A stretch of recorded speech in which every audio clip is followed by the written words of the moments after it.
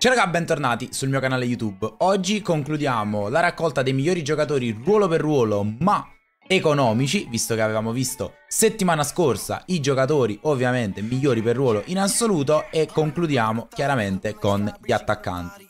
Anche questo ruolo abbastanza complicato perché la disparità tra i giocatori basic e quelli veramente top è alta. Ho cercato di creare una fascia abbastanza intermedia che vi permette comunque di fare degli upgrade dai giocatori proprio standard. Il primo giocatore che andiamo a vedere quest'oggi è Mario Balotelli nella sua versione Jolly Invernali. Una carta che è veramente pazzesca per quello che è il suo costo, ovvero 50.000 crediti.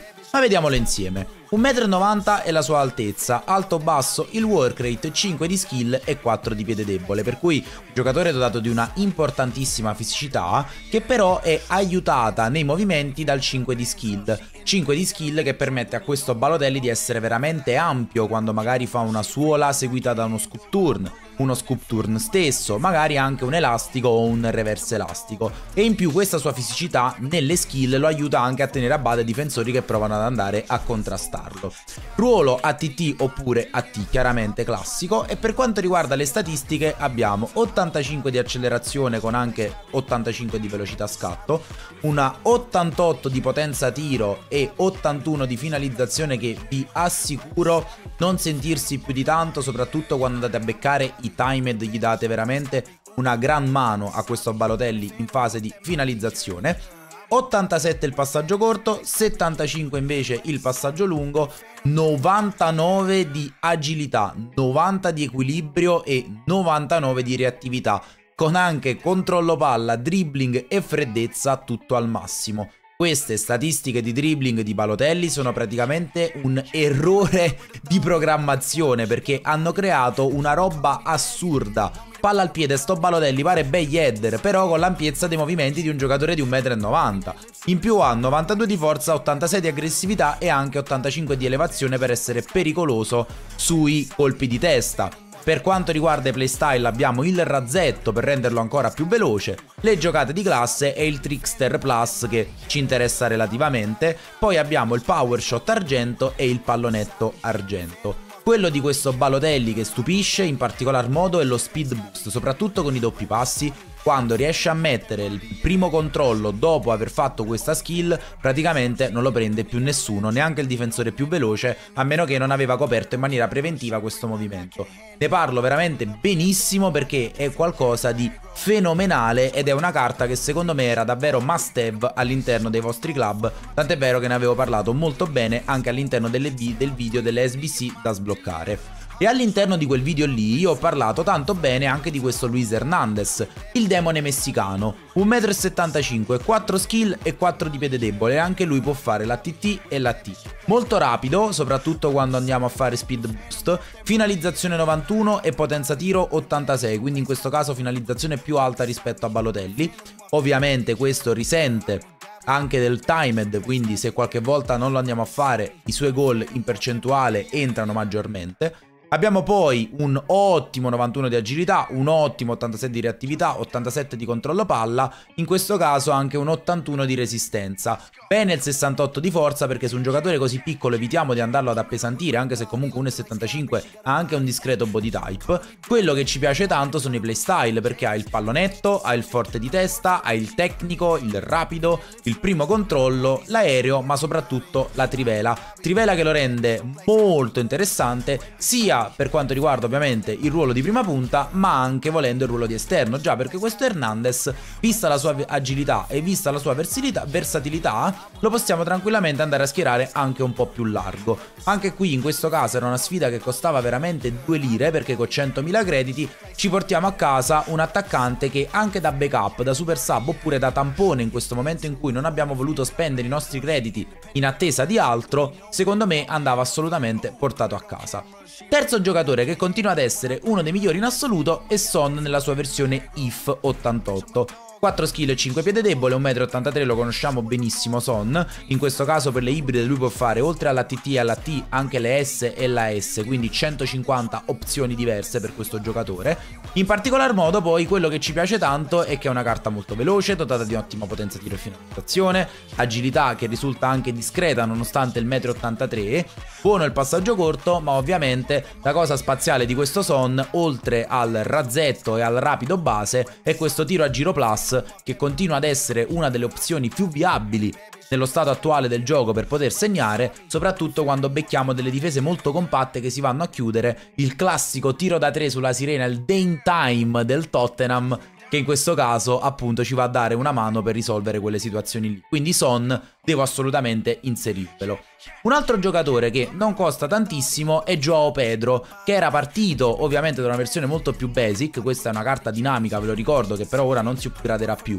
1,82 m, 4 skill e 4 piede debole, facilmente ibridabile essendo brasiliano e facilmente ibridabile avendo tra i vari ruoli anche il COC, quindi potrebbe tornarvi comodo. È rapidissimo, con i doppi passi si speed boosta bene anche perché è dotato di una gran fisicità, 1,82 m, peccato non abbia la quinta skill. Molto bene il passaggio corto per dialogare nello stretto con i compagni, 97 di agilità, 87 di reattività, 90 di controllo palla 95 di resistenza, che ve lo fa durare praticamente perpetuo. Peccato in questo caso la forza che leggermente lo appesantisce, però andiamo a recuperare con l'unico playstyle figlio unico di madre vedova che ha, che è il tecnico, che quindi ci permette di poter utilizzare la corsa, scusatemi il rapido, che quindi ci permette di poter utilizzare un dribbling molto più preciso quando siamo in corsa, andando a ridurre quello che è il margine d'errore sull'allungamento del pallone. Una carta che a me ha convinto tantissimo e che per quello che costa vi continuo a consigliare. Così come un'altra giocatrice che vi continuo a consigliare tanto è questa Kelly Smith, nella sua versione Centurione, una carta che anche qua secondo me è stata un po' sottovalutata, perché stile di body type siamo più o meno sul Bayedder level, perché 1,68, le manca il 5 di piede debole, però è un 4-4, quindi molto bilanciato. ATT e AT sono i suoi ruoli.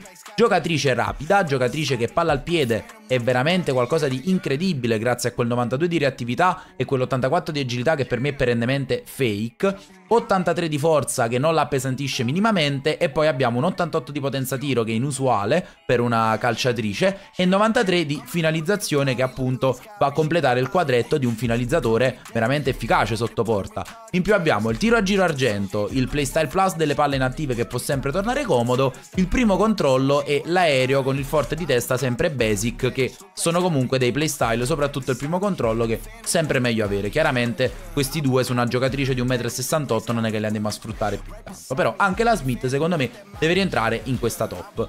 Così come in questa top, più che la versione POTM di Paolo Di Bala, io metto un'altra carta che secondo me è stata tanto sottovalutata, proprio perché era uscito il POTM.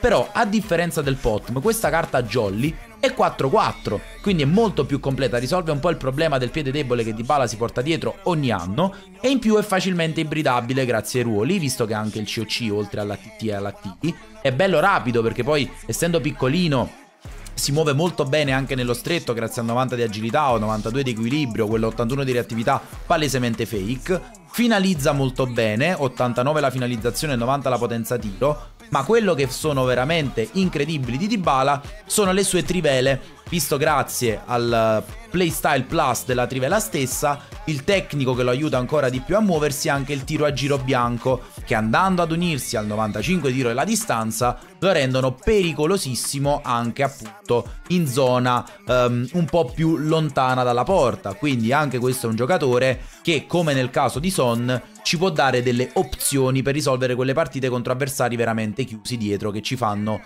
dei muri che sono difficili da superare.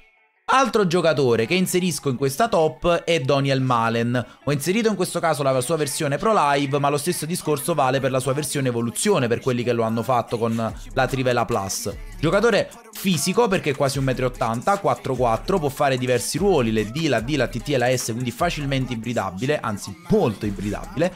96 l'accelerazione, 92 la velocità scatto, 90 il passaggio corto per dialogare con i compagni, 92 la potenza tiro e 88 la finalizzazione. Molto bene quindi in fase realizzativa. 93 di agilità, 92 di equilibrio e 87 di reattività con 82 di forza. Questi sono parametri un po' fake perché vista la sua importante stazza, visto che ha un bel body type, Certo non è agile per dirvi quanto di bala o addirittura più agile perché se vediamo addirittura praticamente 93 di agilità e maggiore di Dybala, l'equilibrio è uguale, la reattività è di più, vi sfido a far girare Malen meglio di Dybala, quindi dovete calcolare anche quegli altri parametri che incidono. Playstyle che sono ottimi perché in questo caso abbiamo il razzetto, il tecnico, le giocate di classe, il primo controllo, il passaggio teso Mentre per quell'altra versione ci portiamo a casa pure una bella Trivela Plus che anche lì se lo vogliamo giocare da esterno può essere assolutamente una risorsa da sfruttare. Chiudiamo con due, diciamo, fuori quota, come alle Olimpiadi, quando si fanno le Olimpiadi di, di NBA, di, cioè di pallacanestro di, di, calcio, si portano i fuori quota, si possono portare.